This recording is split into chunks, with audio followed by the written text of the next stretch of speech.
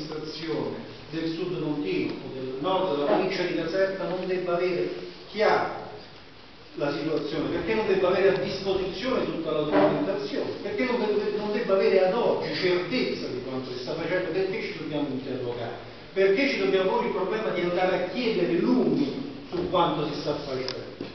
E allora di qui è legittimo il dubbio che qualcuno insinua, vale a dire, perché si parla di D1? Questo presuppone no? che il discorso si sviluppi poi su di due, di tre, allora ci sono altre cose. Allora forse è legittimo quando qualcuno afferma che il sospetto è l'anticamera della verità. Ma tutto questo poi no, è sotteso da una logica dominante, che è quella che, diciamo, con cui abbiamo aperto questo ragionamento e con cui ha aperto in particolare il mio testo ragionamento.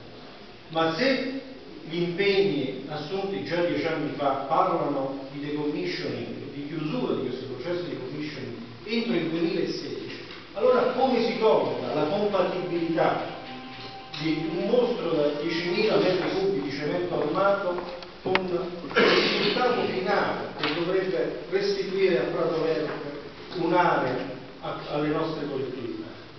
Ci sono dei dubbi ai quali, ci, ci sono dei punti di domanda che necessitano di consortium.